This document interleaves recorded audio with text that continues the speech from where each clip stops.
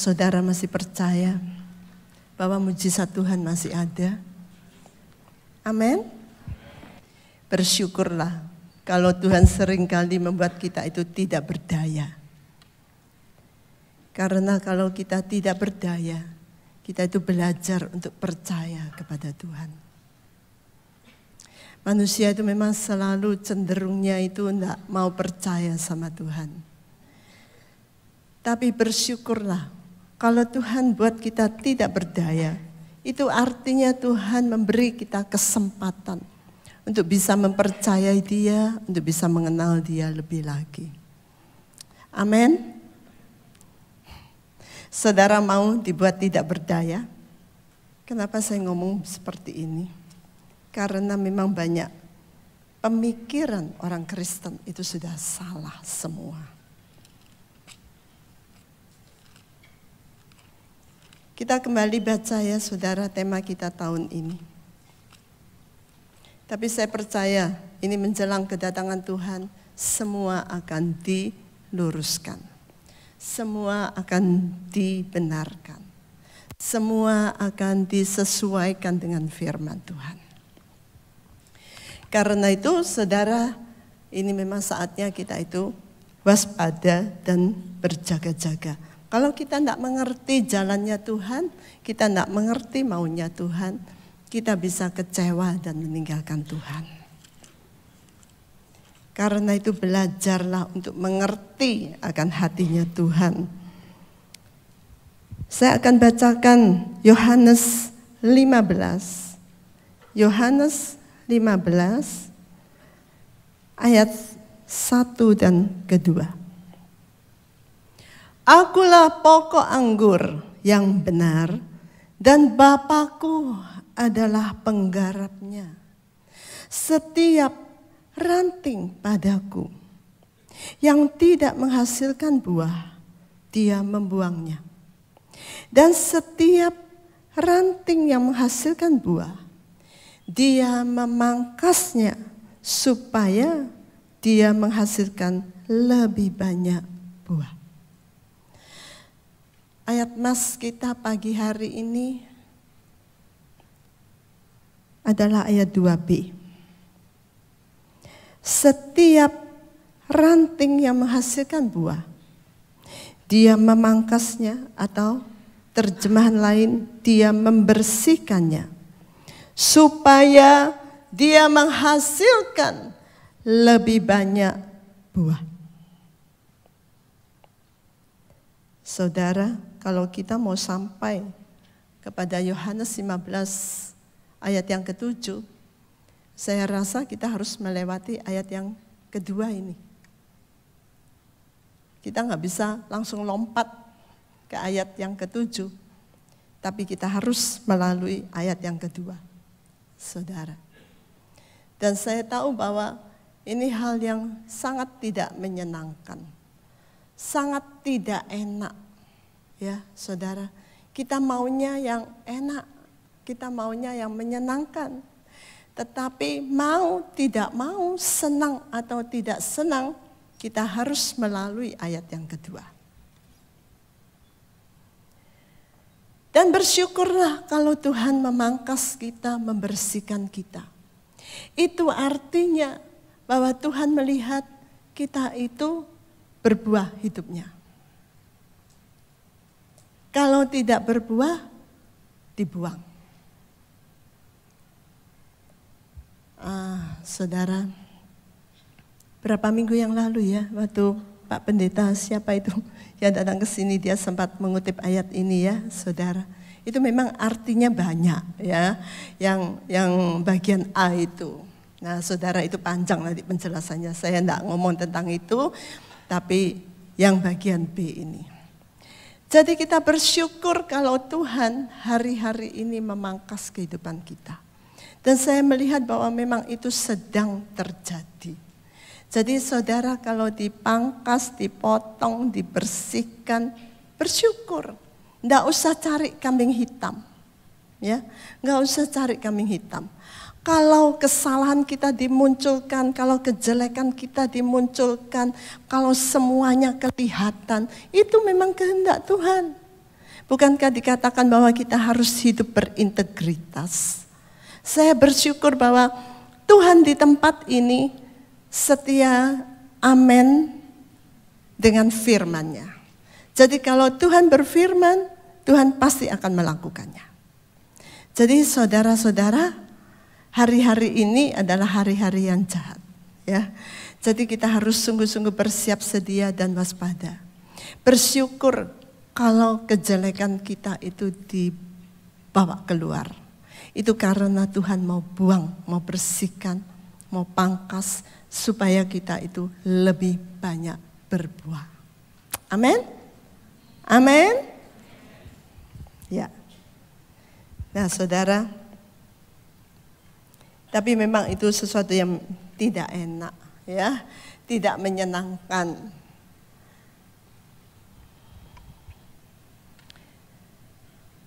Dulu, kekristenan itu identik dengan penderitaan, kesengsaraan, kesusahan, ya saudara, dulu. Tetapi sekarang kekristenan itu identik dengan kemewahan, kenyamanan, kelimpahan, kekayaan, kepopuleran, identik dengan itu semua. Sehingga mungkin kalau sekarang kalau hamba Tuhan tidak kaya, itu merasa bersalah. Aku ini salahnya apa sih? Ya.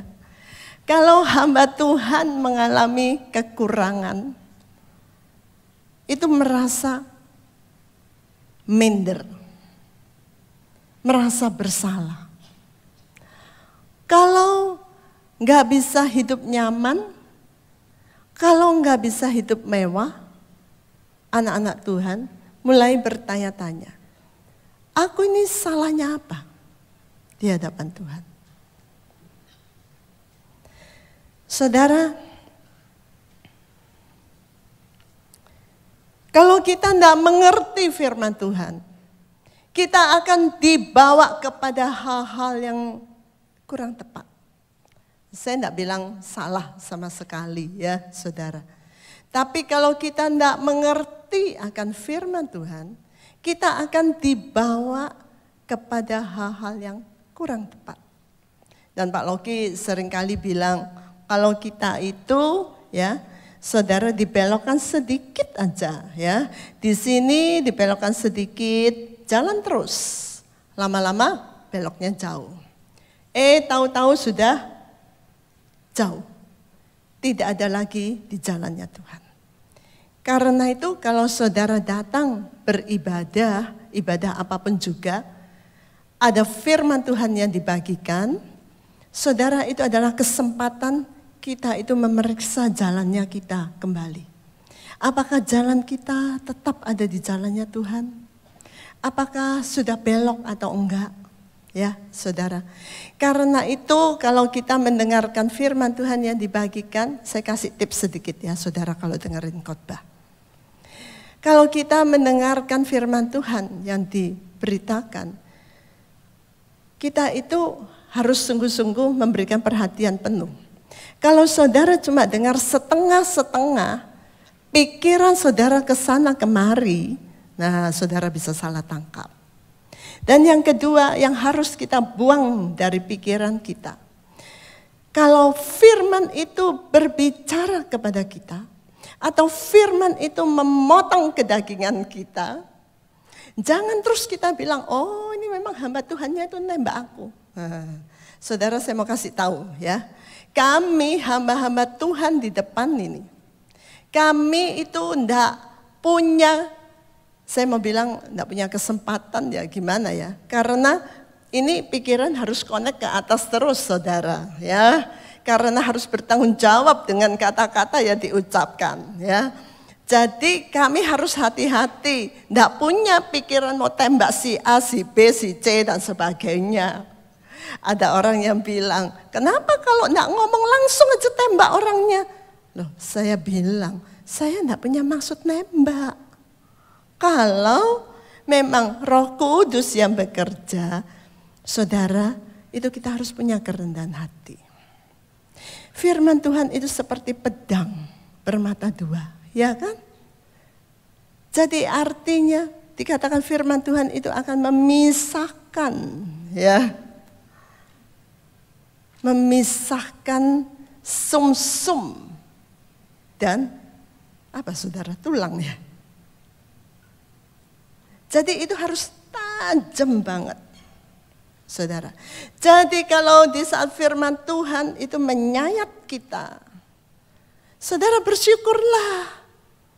Karena itu artinya Tuhan sedang membersihkan kita. Membuang hal-hal yang tidak berkenan di hadapannya. Saudara, karena Tuhan cinta sama kita. Kalau Tuhan tidak cinta sama kita, Tuhan akan biarkan saja. Ya. Dan nanti yang rugi itu kita sendiri.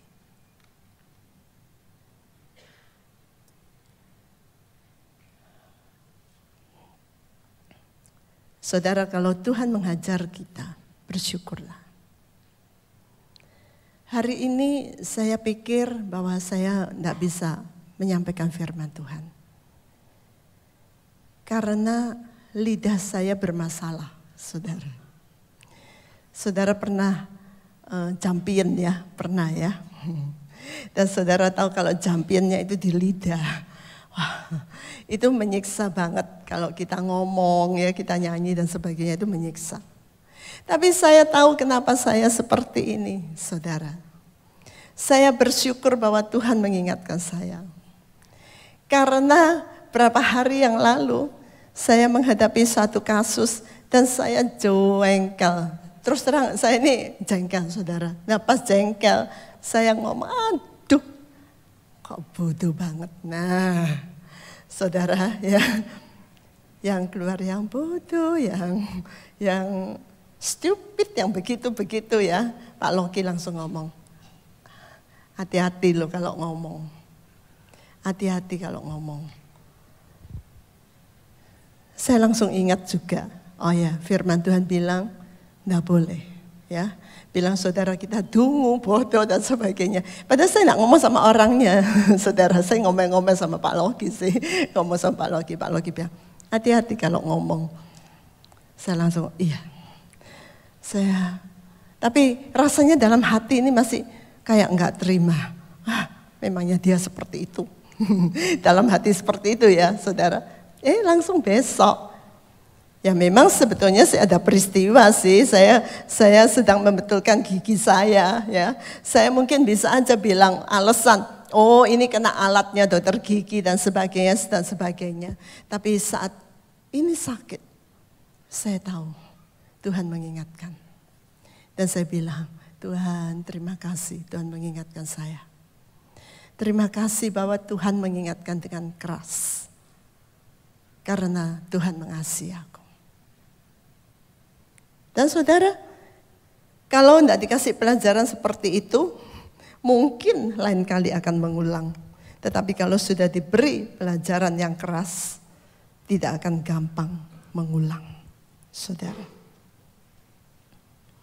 Bagaimana dengan pandangan orang Kristen sekarang? Bahwa kalau mengikut Tuhan, itu selalu enak, nyaman, semua baik-baik saja. Kalau kamu salah, Tuhan akan mengampuni. Tuhan akan berbelas kasihan. Tuhan tidak akan menghukum kamu. Tuhan tidak akan memberikan yang tidak enak, tidak enak itu. Ya, saudara. Kita buka sama-sama firman Tuhan di dalam kisah para rasul. Kisah para rasul 14. Kisah para Rasul 14, mulai ayat yang ke-21. Ini tentang perjalanan Paulus dan Barnabas. Dan setelah menginjili kota itu dan setelah menjadikan cukup banyak murid, mereka kembali ke Listra dan Iconium dan Antioquia. Sambil menguatkan jiwa para murid dengan memberi nasihat agar tetap tinggal dalam iman dan bahwa seharusnya lah kita masuk ke dalam kerajaan Elohim melalui banyak kesukaran. Saudara, dengan memberi nasihat agar tetap tinggal dalam iman dan bahwa seharusnya lah kita masuk ke dalam kerajaan Elohim melalui banyak kesukaran. Jadi saudara Paulus mengatakan bahwa kalau kita mau masuk ke dalam kerajaan Elohim itu sudah seharusnya lah kita itu mengalami banyak kesukaran. Itu sudah sesuatu yang harus. Maksudnya tidak bisa dihindari. Kalau mau masuk di dalam kerajaan Elohim, kita mengalami banyak kesukaran, itu biasa. Memang sudah seharusnya demikian. Ya, saudara. Jadi itu bukan sesuatu yang luar biasa. Justru kalau kita tidak mengalami kesukaran-kesukaran, itu perlu dipertanyakan apakah kita ada di jalannya ya Tuhan atau tidak. Saudara. Soalnya kalau mau masuk di dalam kerajaan Elohim itu sudah seharusnya lah mengalami banyak kesukaran. Karena apa? Karena jalannya Tuhan ini bertentangan dengan jalannya dunia, saudara. Jadi pasti kita mengalami banyak kesukaran atau banyak tekanan pressure. Itu jelas, saudara. Ya, itu jelas. Jangan kita itu masuk di dalam tipunya setan, saudara. Di dalam 2 Timotius pasal yang kedua, kita juga sering ya saudara sudah mendengar tentang hal ini. Di mana di dalam bagian ini dijelaskan tentang keadaan manusia di akhir zaman. Jadi semua yang ada di 2 Timotius pasal yang ketiga ayat yang pertama sampai ayat yang kelima itu menggambarkan tentang kondisi keadaan manusia di akhir zaman. Saya tidak mengulang ya saudara, tetapi saya akan membaca ayat yang keempat. Di situ dikatakan bahwa manusia di akhir zaman itu adalah pengkhianat, ceroboh, pongah, sombong. Cinta akan kesenangan lebih daripada cinta akan Elohim. Ya. Cinta akan kesenangan lebih dari cinta akan Elohim.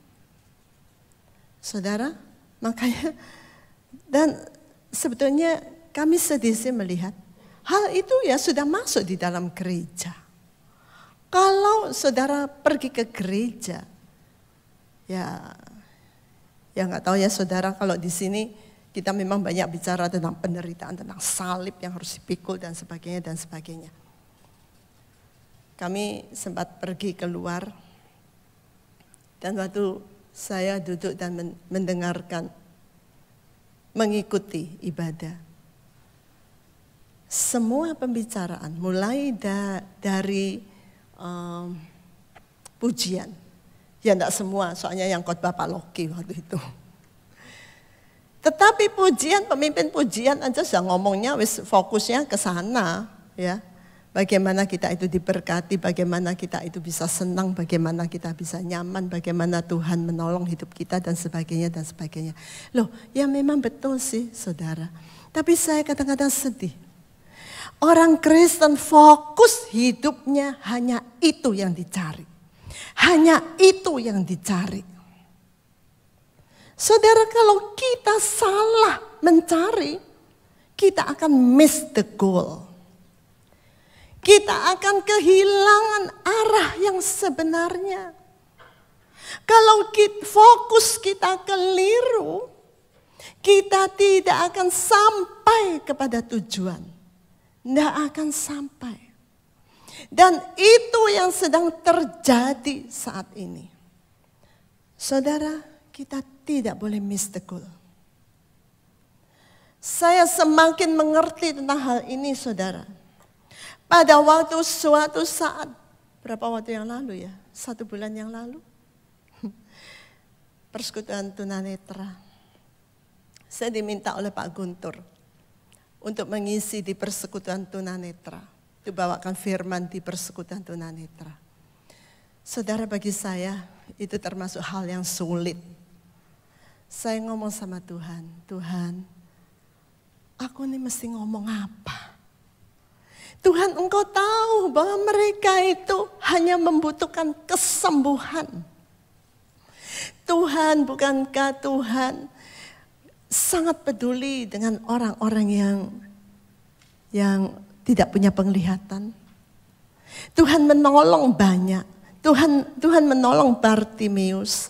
Tuhan menolong beberapa orang yang kehilangan penglihatannya. Dan saya berdoa Tuhan, maukah Tuhan menjamah anak-anakmu ini. Berikan mereka kesembuhan, saya bilang. Rasanya percuma lah Tuhan ngomong hal-hal yang lain. Kan mereka butuh itu. Nah saudara, apa yang Tuhan berikan pada saya? Saya cuma bilang Tuhan, aku ini mesti ngomong apa?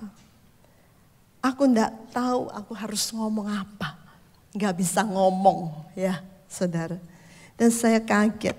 Tuhan justru berikan saya Matius pasal yang kelima ayat ke-29. Saudara tahu bunyinya? Dan jika matamu yang kanan menjerumuskan engkau, cungkillah itu. Dan buanglah daripadamu. Karena lebih menguntungkan bagimu bahwa satu dari anggota tubuhmu binasa. Dan bukan seluruh tubuhmu dicampakkan ke dalam neraka. Saya gini loh Tuhan, kok malah dikasih firman seperti ini. Tapi setelah menerima firman itu saya tahu, saya mengerti banget saudara. Oh ternyata bagi Tuhan yang penting itu adalah keselamatan jiwa seseorang. Itu fokus hidup Tuhan. Tuhan tidak fokus kepada kenyamanan-kenyamanan, kekayaan, kemewahan dan semuanya. Tuhan tidak fokus mau bikin kita kaya, mau bikin kita enak, nyaman dan sebagainya. Kalau kita dibuat nyaman, kita akan mencari dia lebih, Tuhan akan bikin kita nyaman. Kalau kita dibuat susah dan itu membuat kita mencari dia lebih, Tuhan akan izinkan kesusahan. Seperti firmannya yang mengatakan, kalau matamu itu membuat kamu berdosa, mungkin selalu lihat hal-hal porno terus. Dan bilang lebih baik congkel aja matamu itu. Daripada kamu punya mata lengkap. Masih untung disisakan satu, saudara. Tidak disuruh congkil dua-duanya. Lebih baik kamu, meskipun tidak lengkap anggota tubuhmu, tetapi kamu masuk dalam kerajaan Tuhan. Saudara melalui peristiwa itu, pandangan saya berubah tentang penderitaan. Dan saya semakin mengerti apa yang firman Tuhan katakan. Satu bulan yang lalu Pak Loki juga sempat membawakan firman Tuhan uh, di ibadah yang pertama ya. Tentang anugerah penderitaan. Ya. Saudara, anugerah penderitaan. Dan saya merasa diteguhkan, saudara karena saya sudah banyak mendapatkan firman tentang hal itu. Yang saya tahu bahwa saya suatu saat saya harus sampaikan kepada kita semua. Supaya kita itu jangan tertipu oleh setan. Supaya kita itu tetap bisa ada di jalannya Tuhan. Supaya kita itu tetap fokus kepada kehendak Tuhan. Sekarang permasalahannya adalah bagaimana saudara ya Bagaimana kita bisa menang untuk menghadapi tekanan-tekanan di dalam kehidupan ini? Kalau Paulus mengatakan bahwa kalau kamu mau masuk ke dalam kerajaan Elohim, sudah seharusnya kamu itu mengalami tekanan-tekanan itu biasa. Nah saudara, karena itu kita harus kuat, kita harus menang menghadapi itu semua. Yang pertama, kita harus sungguh-sungguh tanamkan di dalam hidup kita. Apa pun yang terjadi dalam hidup kita. Pertama, kita harus percaya bahwa Tuhan itu baik. Dan tujuan Tuhan yang terutama adalah untuk menyelamatkan kita. Apa pun yang Tuhan izinkan terjadi dalam hidup kita Sampai hal-hal yang sangat tidak enak mungkin. Sampai hal-hal sampai kita itu mungkin merasa seperti orang dikuliti. ya, Saudara. Meskipun kita belum pernah ya dikuliti ya, belum ada ya yang pernah dikuliti. Tapi dulu, zaman dahulu, orang-orang Kristen zaman dulu, mereka mengalami sampai aniaya yang seperti itu dan mereka muncul indah di hadapan Tuhan. Saudara, apa pun yang kita alami, kita ingat firman Tuhan di dalam Roma 8 ayat 28. Saya tidak usah baca. Saya yakin kita semua sudah hafal ayat ini. Bahwa Tuhan itu baik. Tidak ada sedikit pun maksud Tuhan yang tidak baik. Tidak ada niat buruk ya untuk mencelakakan kita untuk menjatuhkan kita. Yang pasti, yaitu untuk menyelamatkan kita. Saudara, kalau setiap minggu datang ke tempat ini dan menerima perjamuan kudus, biarlah setiap kali kita angkat cawan di hadapan Tuhan, kita itu ingat kasihnya Tuhan kepada kita. Makanya jangan lakukan perjamuan kudus itu sembarangan. Ya, saudara. Terus pokoknya datang, ya sudah. Pak Loki suruh angkat roti, kita angkat. Angkat cawan, kita angkat. Ya. Saudara, tapi ingat di saat kita mengangkat itu semua di hadapan Tuhan. Ingat kasihnya. Ingat pengorbanan Tuhan Yesus yang tidak main-main. Itu bukan main-main penderitaan Tuhan Yesus. Saya tidak akan bosan-bosan ngomong ini saudara. Meskipun saya tahu saya sering kali mengulang ini. Tapi itu harus betul-betul ditanamkan di hidup kita. Saya tahu bahwa orang Kristen suka main-main dengan Tuhan. Karena mereka tidak bisa menghayati pengorbanan Tuhan Yesus di atas kayu salib. Kalau kita sungguh-sungguh bisa menghayati pengorbanan Tuhan Yesus di atas kayu salib, saudara kita tidak akan main-main dengan hidup ini. Kita tidak akan sembarangan berbuat dosa. Kita tidak akan sembarangan berbohong. Kita tidak akan sembarangan berzina. Kita tidak akan main-main dengan pornografi. Kita tidak akan merusak kehidupan kita yang sudah ditebus oleh Tuhan. Kita akan memperhatikan setiap firman Tuhan. Kalau kita itu sungguh-sungguh menghayati dan mengerti pengorbanan Tuhan Yesus. Karena itu saudara jangan biasakan ya. Sekali lagi jangan biasakan melakukan perjamuan kudus tanpa mengerti apa-apa. Tanpa menghayati. Saudara itu percuma.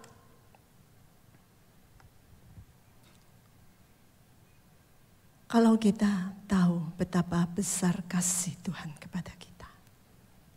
Kita akan tahu dan sadar bahwa apa pun yang Tuhan izinkan terjadi dalam hidup kita. Meskipun itu merobek-robek hati kita. Meskipun itu menekan kita luar biasa. Kita tahu bahwa itu karena Tuhan mengasihi kita. Tuhan mengizinkan sesuatu yang tidak enak banget terjadi dalam hidup kami. Saudara, saya rasanya kayak orang sampai mungkin kayak zombie ya. Hidup nggak hidup, mati nggak nggak mati. Itu itu perasaan saya seperti itu. Saya sampai kayak, aduh Tuhan, ya. Tapi satu hal yang tetap saya pegang, yaitu bahwa Tuhan itu baik. Pasti baik. Pasti baik. Dan sekarang itu sudah lewat dan saya memang melihat bahwa itu baik. Saudara, karena itu percayalah kepada Tuhan. Percayalah bahwa Tuhan itu baik. Tuhan itu sangat baik. Yang kedua, saudara. Kita harus terus mengarahkan ya hidup kita ini, tujuan hidup kita ini kepada perkara-perkara yang di atas. Seperti yang dikatakan di dalam Kolose pasal yang ketiga.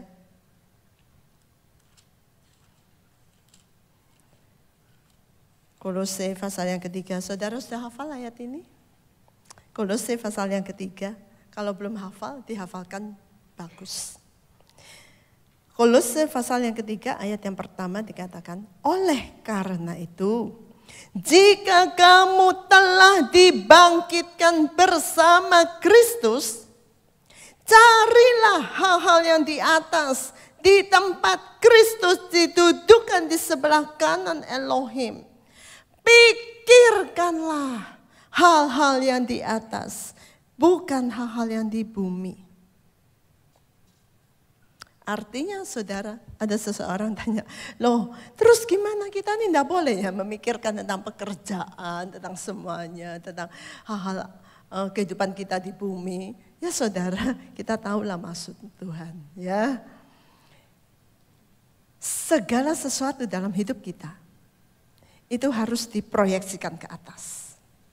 Karena itu, baik pekerjaan, baik kehidupan rumah tangga kita, baik kehidupan sosial kita, apa pun yang kita lakukan, itu harus diproyeksikan ke atas seharusnya, saudara.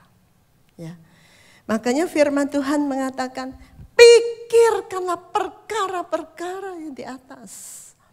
Kalau saudara pikiran kita itu selalu kita proyeksikan ke atas, di saat kita mengalami banyak tekanan ya di muka bumi ini, kita akan kuat saudara. Kita akan kuat. Tetapi kalau fokus kita ke dunia, fokus kita ke bumi ini, saudara kita akan lemah. Pasti. Kita akan mulai melihat yang lain ya. Kita akan mulai melihat situasi dunia ini. Kita mulai melihat, waduh gimana kalau seperti ini ya. Saudara kita akan semakin lemah. Karena itu kita harus belajar untuk terus mengarahkan pikiran kita, arah hidup kita, semuanya itu ke atas. Kepada perkara-perkara yang di atas. Biasakan melakukan apa pun juga. Saudara, ini apa ya gunanya untuk kekekalan? Nah, saudara, saya tidak tahu apakah saudara biasa melakukan itu atau enggak ya. Tapi saya belajar sih untuk melakukan hal seperti itu. Apa pun juga. Selalu mikirnya itu ini untuk kekekalan bagaimana. Makanya saudara kalau mau marah, mau apa pun juga saudara, kalau saudara ingat, kalau untuk kekekalan, berguna enggak ya aku marah? Kalau enggak berguna, ya sudah enggak usah marah, saudara. Ya. Usah emosi, Nggak usah sakit hati, nggak usah pahit. Ya, saya tahu ini tidak gampang, saudara. Tetapi kalau kita mau, Tuhan itu pasti menolong. Arahkan terus pandangan kita itu kepada Tuhan kita. Kepada Tuhan Yesus yang sudah menyerahkan hidupnya bagi kita. Yang sudah memberikan teladan bagi kita. Yang sudah mengorbankan seluruh hidupnya bagi kita. Saudara, kalau kita menghadapi banyak tekanan, kita melihat Tuhan Yesus, kita tahu bahwa oh, apa yang kita alami itu belum apa-apa. Paulus mengatakan kamu belum mencucurkan darah. Belum meneteskan darah. Jadi itu masih belum apa-apa, Saudara, ya. Tidak ada kesusahan di dunia ini yang melampaui penderitaan yang dialami oleh Tuhan kita. Karena itu, biarlah kita senantiasa mengarahkan pandangan kita kepada Tuhan Yesus. Dan yang ketiga, saudara kita harus punya pandangan yang benar tentang penderitaan. Nah saya sudah singgung ya tadi ya saudara di awal. Tapi saya ingin kita kembali merenungkan Filipi pasal yang pertama.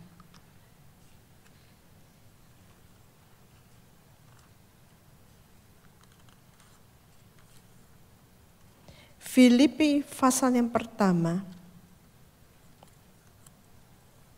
ayat ke-29 dikatakan demikian. Sebab demi Kristus bagimu telah dianugerahkan tidak hanya untuk percaya kepadanya tetapi juga untuk menderita bagi dia. Ini ayat yang sempat disiarkan oleh Pak Loki ya, satu bulan yang lalu. Jadi kita itu tidak hanya diberi anugerah untuk bisa percaya kepada dia. Tetapi kita juga diberi anugerah untuk menderita bagi dia. Saudara bagaimana kita tidak mau menderita? Ini sesuatu yang tidak bisa dihindari. Ya. Kita tidak hanya diberi anugerah untuk bisa percaya dan diselamatkan, tetapi diberi anugerah juga untuk menderita. Untuk menderita bagi Tuhan. Dan juga di dalam 2 Timotius 2 ayat yang ketiga yang bicara tentang prajuritnya Tuhan. Di situ dikatakan bahwa sudah seharusnya lah seorang prajurit itu menderita Ya, saudara. Jadi kalau tidak mau menderita, ya tidak bisa, saudara. Makanya Tuhan Yesus bilang kalau kamu tidak mau pikul salib, ya tidak bisa kamu mengikut aku. Kalau kamu tidak mau menyangkal diri, ya memikul salib, tidak bisa menjadi muridnya Tuhan. Tidak bisa, saudara.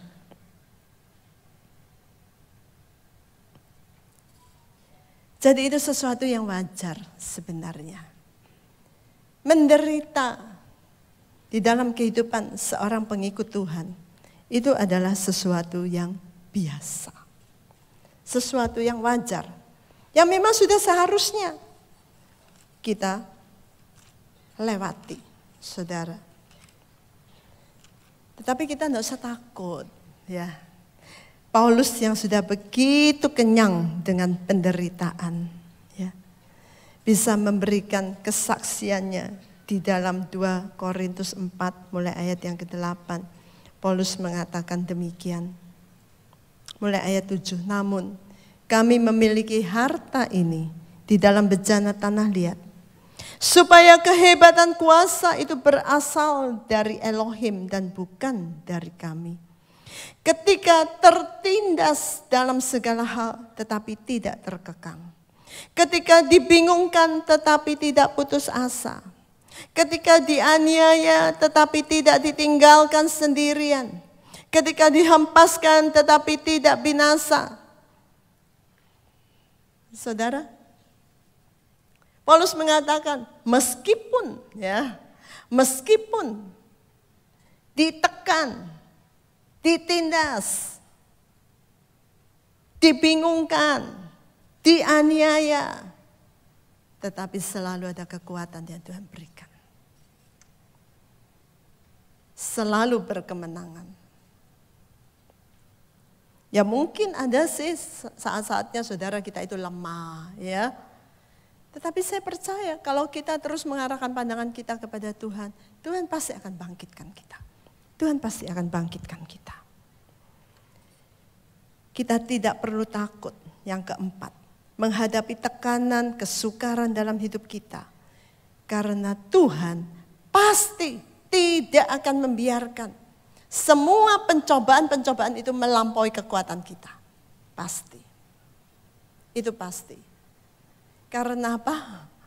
Karena di saat kita mengalami, di saat itu Tuhan pasti support kita dengan kekuatan. Tuhan pasti akan beri kita kekuatan. Saudara, dan yang lebih indah, di saat kita mengalami itu, Tuhan sebenarnya sudah menyediakan jalan keluar. Ya. Karena itu saudara hafalkan 1 Korintus 10 ayat 13. Supaya kita selalu ingat di saat kita mengalami tekanan-tekanan yang sangat besar dalam hidup ini, kita itu tidak akan gampang-gampang goyah.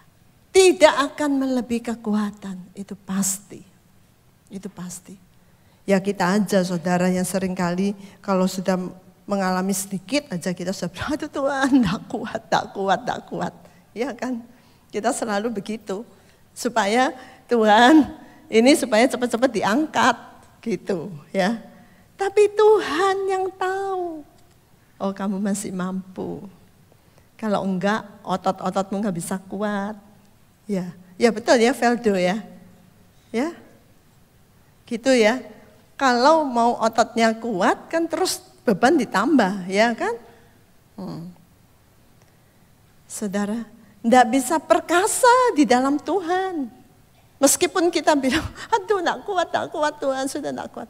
Tapi Tuhan support, kasih kekuatan. Kamu masih bisa nak, ayo. Jadi saudara, kalau Tuhan izinkan sesuatu yang tidak enak terjadi dalam hidup kita, ingat, kita masih kuat kita masih kuat.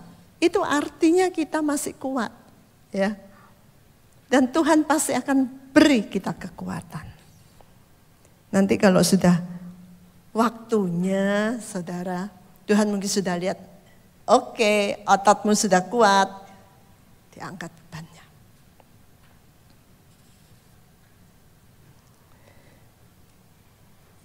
Yakobus pasal yang pertama ayat yang kedua sampai empat, saudara mengatakan bahwa pencobaan-pencobaan. Bersyukurlah kalau kita itu mengalami banyak pencobaan-pencobaan dalam hidup kita. Kalau kita itu mengalami banyak tekanan-tekanan dalam hidup kita. Ya, saudara. Karena itu semua akan menyempurnakan kita. Kita nggak bisa sempurna, saudara, tanpa itu semua. Dan saya cuma mau mengingatkan saudara, kalau kita melihat keadaan zaman ini, ini waktunya sudah tidak lama. Saudara kapan kita mau sempurna? Ayo cepat. Kalau Tuhan memberikan kita banyak tekanan, saudara bersyukurlah. Karena itu artinya Tuhan mendorong kita untuk siap, untuk siap. Saudara mau tunggu apa lagi? Ya, Waktu sudah tambah cepat, dunia sudah semakin panas. Kejahatan bukan panas-panas dosa ya saudara, panas beneran panas. Karena bukankah firman Tuhan mengatakan bahwa nanti di akhir zaman ini Tuhan akan membakar bumi ini. Makanya jangan heran kalau bumi juga semakin hari semakin panas. Waktu sudah semakin singkat, bumi semakin panas, kejahatan semakin luar biasa. Ya. Bencana sudah tidak usah dibilang.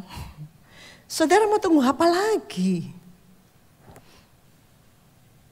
Minggu lalu saya sempat share di ibadah pagi.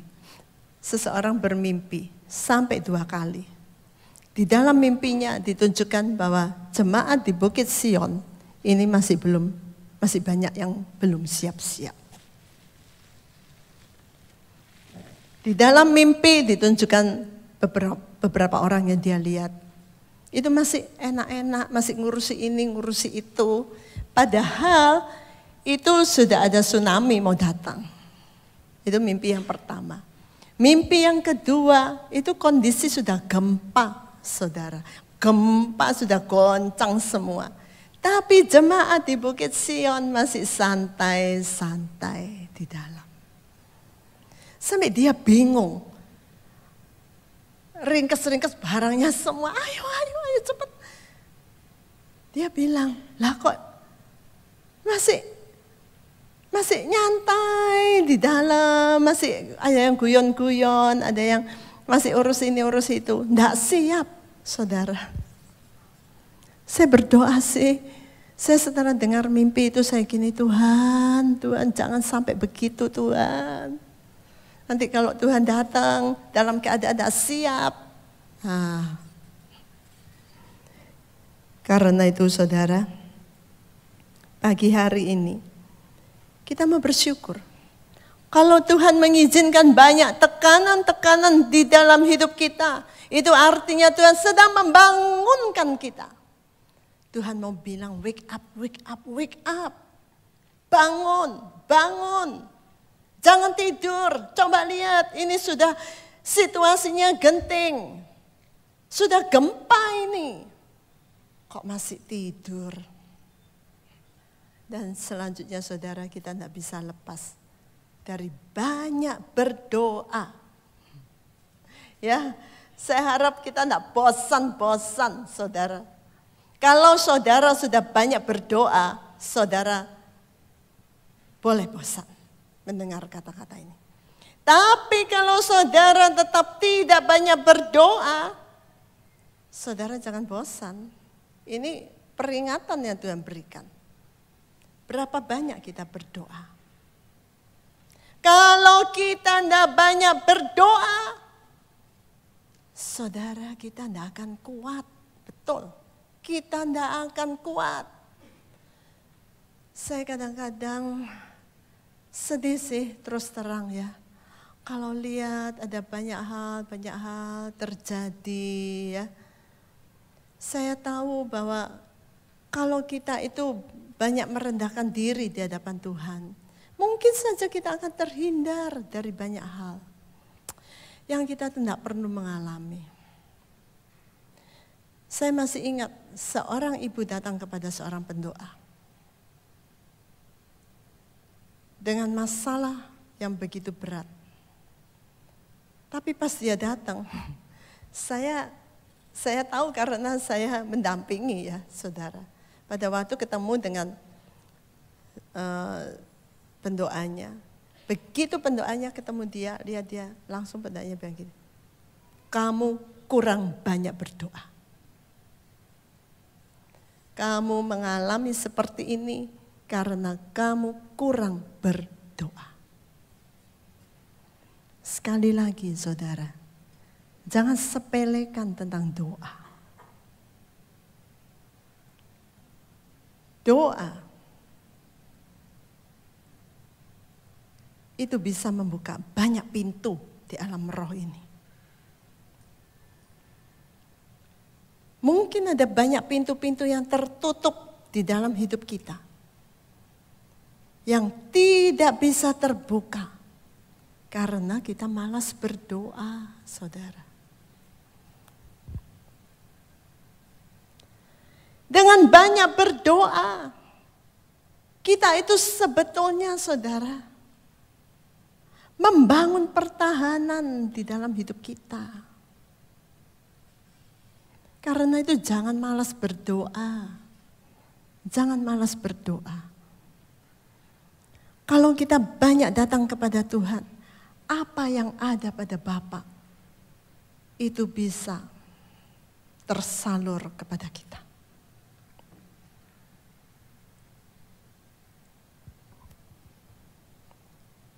Jangan malas berdoa.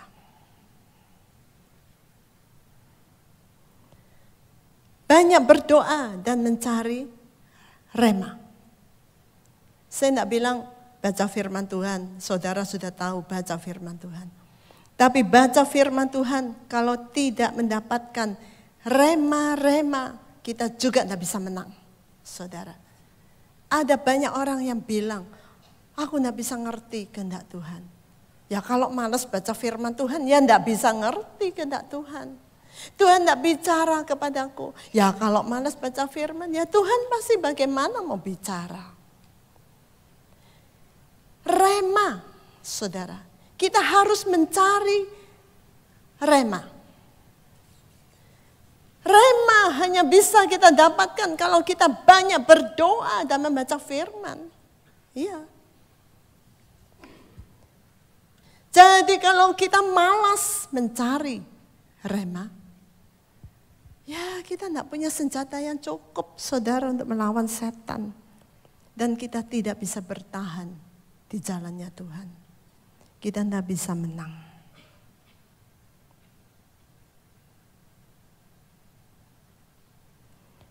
Kedua hal ini akan memberi kekuatan supranatural dalam hidup kita.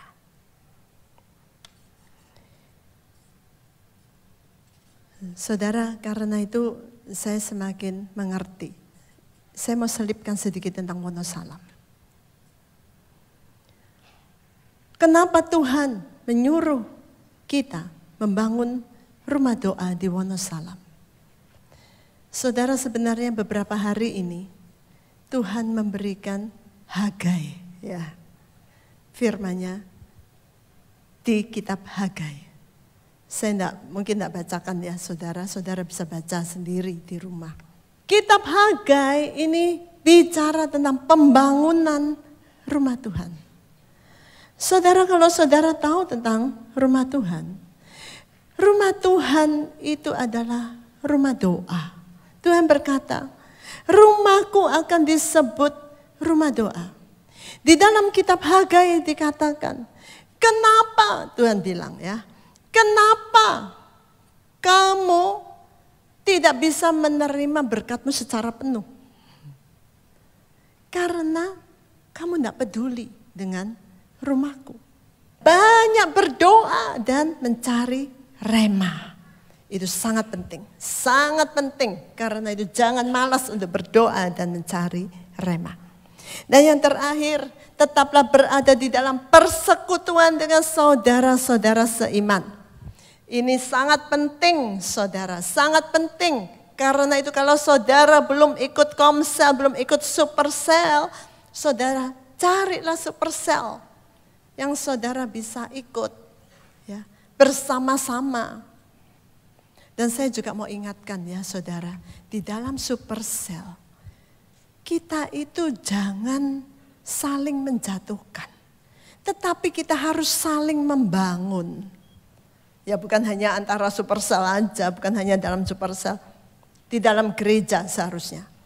Jadi saudara kalau lihat salah seorang saudara jatuh. Jangan malah dinyek-nyek, diinjak, di didelep-delepkan. Sampai akhirnya nggak bisa bangun, saudara. Jangan seperti itu, itu jahat. ya. Dan Tuhan tidak menghendaki seperti itu. Tetapi kalau kita melihat ada saudara kita yang jatuh, Ayo bareng-bareng. Ayo kita gandeng bangkitkan dia. Ayo bareng-bareng lawan setan saudara. Ya kita tahu bahwa yang harus dilawan itu setan. Bareng-bareng lawan setan. Tidak ada seorang pun di antara kita ini yang Pak Loki bilang otot kawat balung wesi. Artinya kuat, mampu, bisa sendiri. Tidak, kita harus saling menguatkan, saling mendukung, saling menopang. Ya. dan belajarlah untuk terbuka. Belajarlah kalau ada apa-apa itu langsung ngomong ke orangnya. Saudara, belajarlah untuk itu. Itu namanya orang yang berintegritas. Dan itu akan menghindari banyak masalah. Ya, saudara. Ada banyak masalah yang muncul itu karena tidak langsung ngomong. Tetapi di belakang, di belakang, di belakang. Dan saya melihat sih bahwa Tuhan tidak suka itu. Makanya Tuhan selalu bongkar, buka, buka. Di tempat ini seperti itu saudara. Makanya kita harus betul-betul memperhatikan firman Tuhan dan melakukannya. Ya, Saya belajar banget tentang hal itu. ya. Dan ya saudara, Tuhan mau kita itu berintegritas. Berintegritas. Kalau ada apa-apa ngomong. Ngomong saudara. Dan belajarlah di saat ada saudara yang ngomong sama kita. Mungkin tunjukkan kesalahan kita, mungkin tunjukkan sesuatu yang tidak enak tentang kita. Belajarlah untuk berbesar hati. Nah terus mm, muntah. Ya. Terus langsung nyolot saudara. Langsung terbakar. Saudara belajarlah. Belajarlah. Ingat waktunya sudah singkat, kapan lagi kita mau belajar. Dan hari-hari ini saya sungguh melihat bahwa Tuhan sedang meluruskan apa yang bengkok. Tuhan sedang membongkar apa yang tidak benar. Tuhan sedang bekerja untuk menyiapkan kita. Kalau Tuhan bilang bahwa kita harus siap-siap seperti mempelai yang tidak bercacat dan bercela, saya tahu bahwa Tuhan serius tentang hal itu. Saudara, biarlah kita saling bergandengan tangan untuk menggenapi segala rencana Bapa. Jadi orang jangan gampang-gampang tersinggung, saudara. Ya, itu sudah harus jauh dari kita. Kalau ada apa-apa yang tidak enak menyinggung kita, ya sudah kita periksa. Betul enggak ya omongannya? Kalau betul ya berubahlah, berubahlah. Jangan terus cari kambing hitam. Ya. Seseorang kena langsung cari kambing hitam. Oh, masalahnya dia memang begini, begitu, begitu. Akhirnya pahit, ya, jengkel, marah, pahit, saudara. Itu rugi. Kita sendiri akan rugi besar. Karena itu jangan gampang-gampang tersinggung, ya, saudara. Mari kita menghadapi memang ke depan ini akan lebih banyak lagi tekanan-tekanan di dalam kehidupan ini. Saudara mungkin tidak enak ya, apa yang kita dengar pagi hari ini tidak enak memang kedengarannya. Tetapi saudara itu kenyataannya seperti itu dan kita semua harus siap untuk menghadapinya. Kita harus muncul sebagai pemenang. Amin. Amin.